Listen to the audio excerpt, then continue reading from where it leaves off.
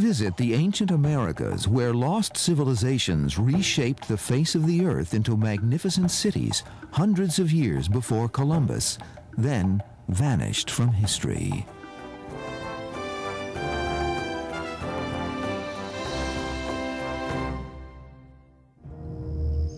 When the settlers of the 16 and 1700s began pushing inland across North America, they came across many strange earthen structures.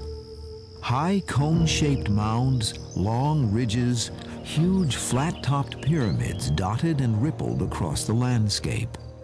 Inside these mounds, unusual pottery and ornate artifacts were often found next to human remains of an ancient people that vanished long ago. For over 2,000 years, ancient peoples left their marks throughout the eastern half of the country, referred to as the woodlands. Hundreds of sites containing thousands of earthworks were discovered. Looking at this undertaking in its entirety, it is clear that the labors of the North American mound builders were of such magnitude that these structures are one of the great accomplishments of early mankind.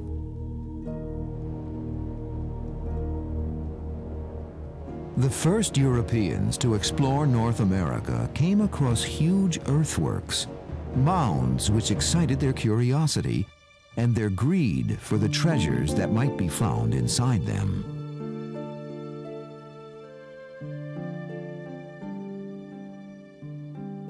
Early excavations uncovered an extraordinary amount of beautifully crafted pottery and artifacts. Many showed sophisticated workmanship and were evidence of elaborate trading networks that brought goods from as far off as the Rocky Mountains and the Gulf of Mexico, a distance of more than a thousand miles. A number of the ancient graves that were excavated revealed elaborate burial practices.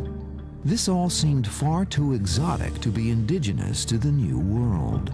Attempting to make sense of these baffling earthen structures, later visitors to North America refused to accept that they were the work of ancient Indians. To them, the finds were evidence that a more sophisticated culture had once thrived there. Not only did the current lifestyle of the Indians seem unrelated, but the Indians themselves seemed unaware of who had built the mounds. Anxious for a solution, Americans at the time came up with other explanations. The earliest interpretations of the people who built the mounds was that they couldn't have been Native Americans. They had to have been uh, constructed by someone coming in from somewhere else, whether they were lost Welsh tribes or lost children of Israel or Maya from South America or something like that. But in fact, they do appear to be, and there's no evidence to suggest that they're not, purely indigenous. The people who were living here at the time constructed them. Even the lost continent of Atlantis was included in these lost race theories. The ideas presented not only seemed exciting and magical, but were probably promoted to increase the value of the artifacts by those plundering the mounds for profit.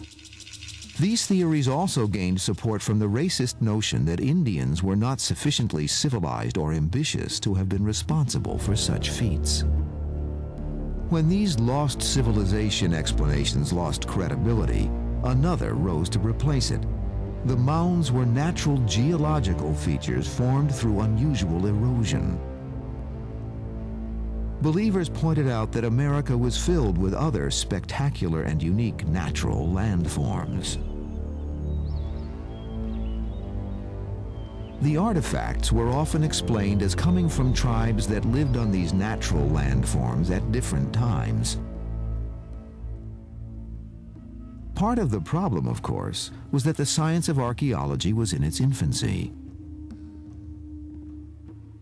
Other tribes had indeed inhabited the sites both before and after the era of mound construction. But without modern dating techniques and a total understanding of population densities, the confusion is understandable. It is hard to believe how the largest ancient structures in North America could ever have been misinterpreted as geological forms, even though hundreds of years of weather and vegetation had obscured them.